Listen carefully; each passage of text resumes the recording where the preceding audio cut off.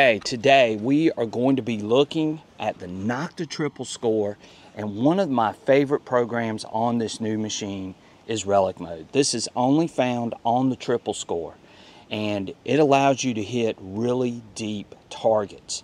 And one setting on the Relic Mode that I really like is the iron reject feature, which is going to allow you to detect and understand if it's big iron or not and not some crazy target. So you'll be able to discriminate and figure out whether it's big iron by using this setting. So we're going to go through in this video and we're going to show you how the iron rejection feature works in relic mode, um, running it over a big piece of iron and what you can expect to hear when you run that iron reject, reject feature. So again, Nokta triple score is coming to you real soon at a dealer near you. Right now, they're $499. You get the big 12 inch coil. You also get an elliptical, small elliptical coil that comes with it, as well as a pair of wireless headphones. So take advantage of that deal while you can if you are interested in the Nokta Triple Score. Again, this is a great looking unit. I really like the way it looks. I like the design. I think you guys will like it too. It's got a lot of fantastic features that I think anyone will be able to pick this machine up and take it out in the field and start finding some great things. So stay tuned for the video. See how iron rejection works on the Nokta Triple Score. We'll catch you guys on the video. If you haven't already, hit that like and subscribe button. I would greatly appreciate it. And we will see you on the video. Okay, so we're going to be looking at the iron reject feature only found in the relic mode. And it's one of my favorite features that you can find on this program. So we want to show you how to actually get to this setting.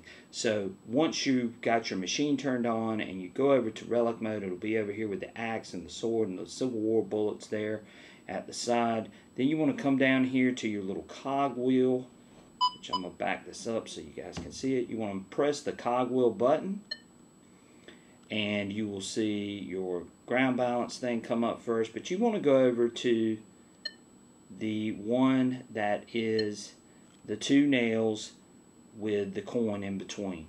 And so you will see over here on the left hand side, you will see the IR setting. So as you turn this IR setting up, it will help you identify big iron that is really deep. And this video is going to show you the perfect example of how to identify that big iron. So stay tuned for the video. I think you'll find it informative. Check out the Nokta Triple Score, and I'll catch you guys on the rest of the video. It's a really good thing to notice too on the Nokta Triple Score. I'm in relic mode and I'm playing around with the IR setting and I thought I would show this too.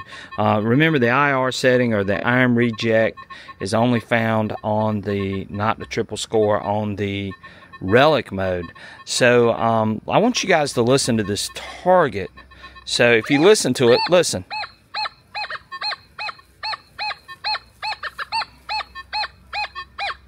And I've got it set on one, but watch as I turn up. Two, three, four. Listen, you hear that iron? And then five.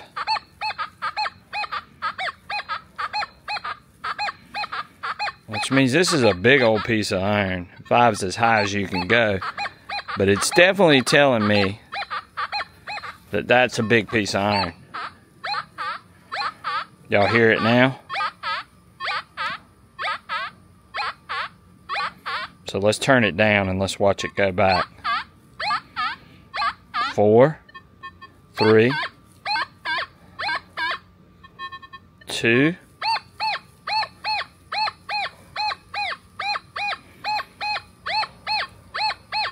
and then one.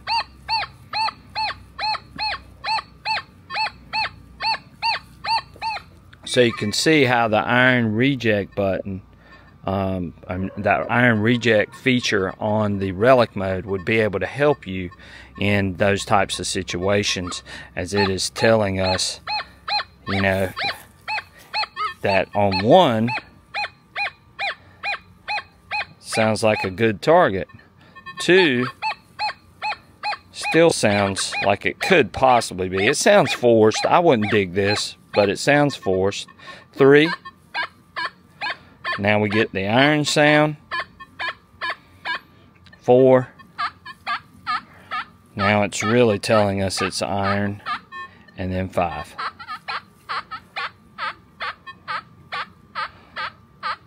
So that iron reject feature definitely works with a piece of iron that's in the ground.